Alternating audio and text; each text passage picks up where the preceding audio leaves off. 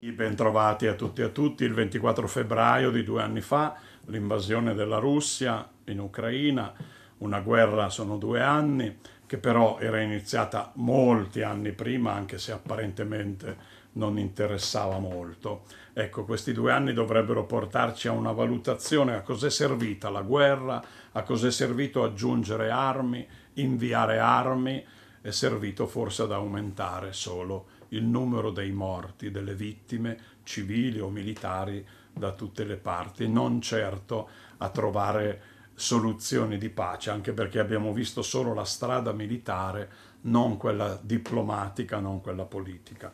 Come sapete io ero stato parecchie volte in Ucraina, sono stato, e ringrazio VCO Azzurra TV, il telegiornale che ha seguito questo viaggio organizzato la carovana di Stop the War Now a fine settembre 2022.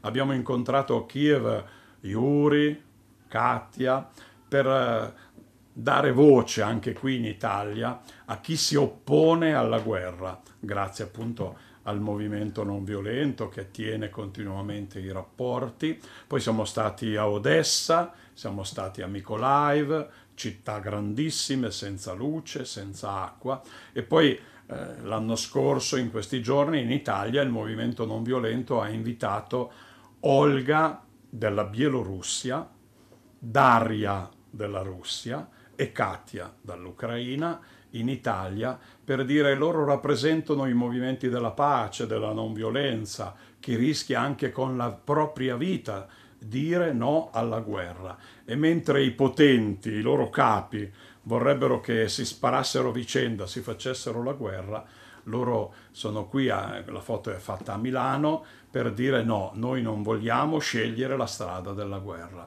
E allora io credo davvero che guardando all'attualità, a quello che sta succedendo, se vuoi la pace, prepara la pace, non la guerra.